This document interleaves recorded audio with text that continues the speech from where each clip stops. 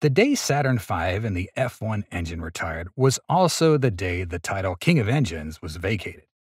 Honestly, it is difficult to find any engine in the 20th century and the first decade of the 21st century that can be worthy of inheriting that title. But as SpaceX's Raptor family gets into the race, we seem to feel the glory coming back. From Raptor 1 to Raptor 2, improvements in thrust and design surprised the whole world. Their power has been proven in Starship tests. But perhaps that was just the first introduction before our true king appeared. That is Raptor 3, a new masterpiece of SpaceX. Although it has not yet officially been released, its powerful debut in testing is already enough to shake up the aerospace industry. So, how powerful is Raptor 3? How will it impact SpaceX and the aerospace industry? Stay tuned as we dive into this and more in today's episode of Alpha Tech. In May of this year, which means a month after the first integrated test flight, SpaceX conducted a test with the Raptor 3 engine. Right after the test, Elon Musk posted a tweet announcing the data they gained from the test, and those results surprised the world. Specifically, Raptor 3 has generated a thrust of up to 269 tons and a combustion chamber pressure of 350 bar. If 33 Raptor 3 engines are used on the Super Heavy, it can generate up to 8,877 tons or 19.5 million pounds of thrust. This is an unprecedented crazy thrust, far exceeding the power of the legendary Saturn V rocket with a thrust of 3,447 tons. In fact, with the current Raptor 2 version, Starship is more powerful than Saturn V. With that greater thrust, Raptor 3 will continue to maintain their positions created by the previous version. Combustion chamber pressure is also another record set by Raptor 3. Before the Raptor engines appeared, the Russian RD-180 was the engine with the largest combustion chamber pressure at 267 bar. But in 2021, SpaceX broke that record with the first Raptor version with a combustion chamber pressure of 268.9 bar. After that, Raptor 2 continued to deepen this record with a combustion chamber pressure of 300 bar. With the aforementioned pressure up to 350 bar, Raptor 3 further demonstrates the dominance of the Raptor family in this aspect. Raptor 3's strong advances come from the smart strategy of Elon Musk and SpaceX. That's the simplification strategy. The best part is no part. That's one of the most famous statements of Elon Musk and is also the principle for all SpaceX activities, including engine development. Firstly, the simplification will help reduce excess weight, but more importantly, it will help eliminate vulnerable engine parts like electric wires, nozzles, sensors, and more, thereby enhancing engine flexibility and reliability. Simplicity will also help the design, production, repair, and operation processes become easier, faster, and cut a lot of costs. This task sounds really easy, but in reality, it's very difficult. Removal of any part requires careful consideration because it may damage the entire system. In addition, the parts in the new version must still ensure the functions of the removed parts. But SpaceX has done this very well. We can realize this when looking at the two engine versions, Raptor 1 and Raptor 2. Compared to Raptor 1, Raptor 2 looks much neater and simpler. This is because SpaceX has removed and redesigned a lot of parts that are complicated and easy to encounter problems like the above parts.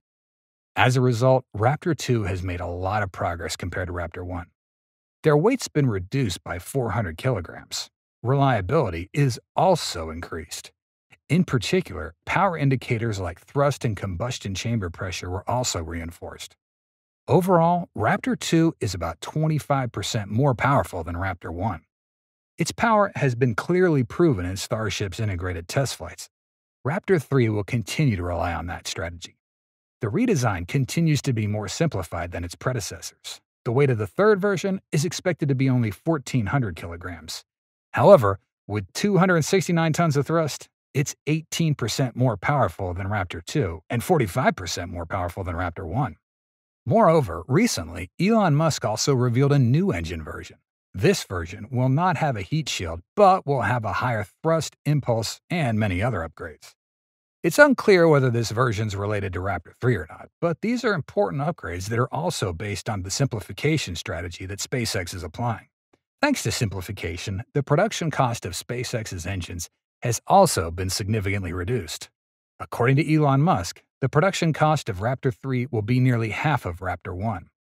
Raptor's production speed is also gradually increasing. Currently, with Raptor 2, SpaceX can produce one engine every 24 hours. But when Raptor 3 launches, that speed will be even faster. Producing powerful engines quickly will further strengthen Elon Musk's plans, including the plan of launching thousands of starships each year to Mars to build self sufficient cities on the planet.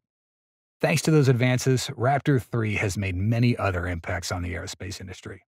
Firstly, it completely defeats Blue Origin's BE 4 engine. Along with the Raptor engines, Blue Origin's engines are considered pioneers in using methane as rocket fuel.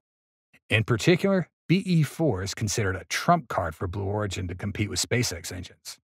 One of Blue Origin's pride is that their BE4 engine has a thrust of up to 250 tons or 550,000 pounds.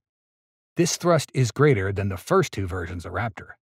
But everything will change when Raptor 3 launches. Raptor 3's thrust will blow away the small pride of Blue Origin's BE4. Honestly, besides that, the BE4 showed many weaknesses compared to the Raptor in every aspect especially its delay. So if Raptor 3 becomes operational, SpaceX will create the final knockout to the Blue Origin engine. Raptor 3 will also continue the Raptor family's mission to regain the glory of U.S. engines. After the F 1 retired, Russian engines emerged strongly, typically the RD 180. This engine has penetrated and made a great impact on the U.S. aerospace industry. It even became the main engine for one of the most famous rockets, ULA's Atlas V. Even a famous engine like the RS 25 used in the Space Shuttle or SLS today also shows weakness when compared with the RD 180. But thanks to the appearance of the Raptor engines, it has actually created a counterweight to the Russian engines.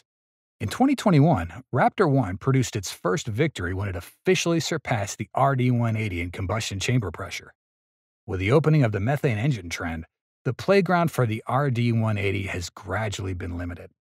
One of the RD-180 customers, ULA, decided to use the BE-4 for their new rocket. Furthermore, Atlas V is also carrying out its final missions and will soon be retired. Therefore, the appearance of the Raptor 3 last May was like a final blow to send the RD-180 back to its homeland and officially end the decades-long influence of the Russians on the U.S. aerospace industry. Raptor 3's role will be even more important in the future because another U.S. rival, China, is strongly following the trend of using methane and has achieved many first successes. Rather than any other engine, Raptor 3 will play an important role for both SpaceX and the U.S. in competing with this rival. Last but not least, we must once again mention SpaceX's simplification strategy. Future engines will become simpler, more powerful, more cost effective, and faster in production.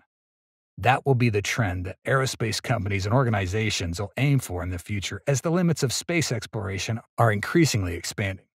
With the advantages presented above, Raptor 3 is truly worth becoming the leader of this trend and the typical representative of the new generation of engines. It's probably been a long time since we've seen an engine that can have such a huge impact. In the last century, with its formidable thrust, the F 1 engine helped Americans gain many glories like winning the space race and helping humans land on the moon for the first time. It is too worthy to be called king of engines. And now, it seems we are gradually finding a new engine that can inherit the will, legacy, and missions left by the F 1. That is Raptor 3. Perhaps we will all be eagerly awaiting the debut of this engine that can shake up the aerospace industry.